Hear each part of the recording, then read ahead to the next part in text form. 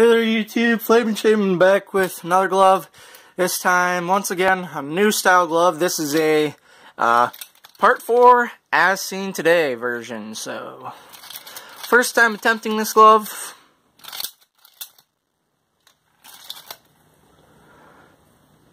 they did is they replaced the first three stalls pretty much. Pink stall is the same.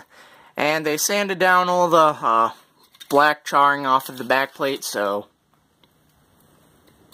this is also the very first glove that I have brazed. It might be hard to tell because if I did add some red paint. Uh, but this is indeed the first glove that I have brazed the blades on, so...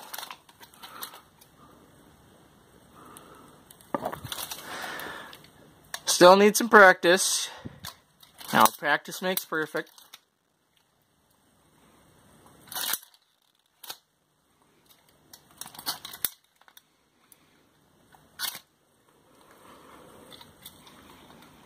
This glove is for Mike, by the way, so, uh...